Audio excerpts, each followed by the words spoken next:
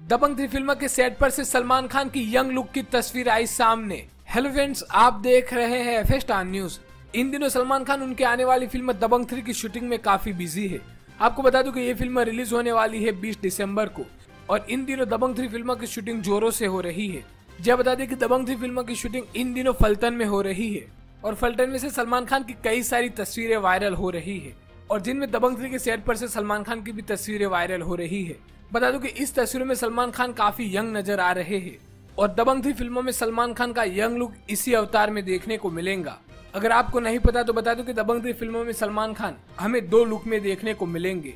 एक तो उनका जो करंट लुक है वही और दूसरा होगा यंग लुक, क्योंकि दबंग थ्री एक सिक्वल और प्रिक्वल फ़िल्म है। यानी कि दबंग थ्री फ़िल्मों में हमें दबंग टू के बाद की स्टोरी और दबंग फ़िल्म के पहले की स्टोरी देखने को मिलेगी।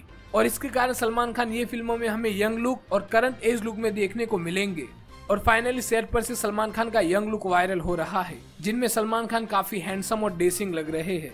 वैसे भी ये लुक काफ़ी दमदार है। बात करें मैं फ़िल्मों की तो फ़िल्मों में सलमान खान के साथ सोनाक्षी सिन्हा और महेश मांजरेकर की बेटी शाय भी देखने को मिलेगी। और दबंग थ्री फ़िल्मों को प्रोड्यूस कर रहे हैं अरबाज खान। और ये फ़िल्मों को डायरेक्शन दे रहे हैं प्रभु देवा। और फ़िल्म रिलीज़ होने वाली है इसी साल क्रिसमस पर। तो फ्रेंड्स आपको कैसा लगा सलमान खान का ये यंग लुक और आप कितने एक्साइटेड इस फ़िल्म को लेकर वो हमें कमेंट करें।